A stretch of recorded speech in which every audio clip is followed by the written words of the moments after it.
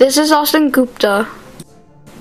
This is Djoser's pyramid simulation using Minecraft. When I told my dad about this project, he thought it was Gozer from Ghostbusters, but it's not. Djoser's pyramid is made by stacking six massive limestone blocks on top of each other.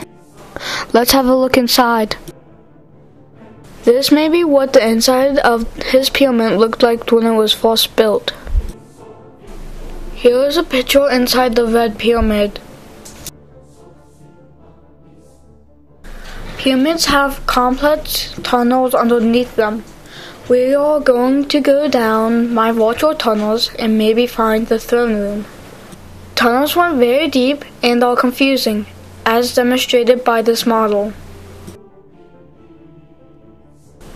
Decoy tunnels were used to keep robbers out of the king's tomb.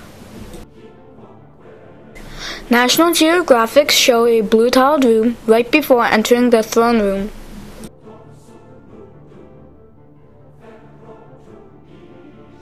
I think we found Djoser's tomb.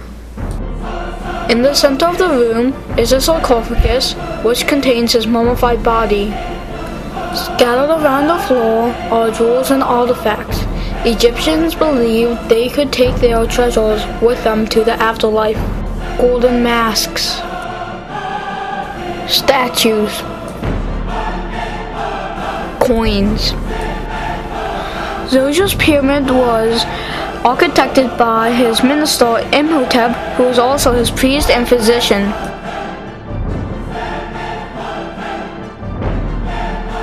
Let's get out of here before we run into anything nasty, like beetles, or mummies, or snakes.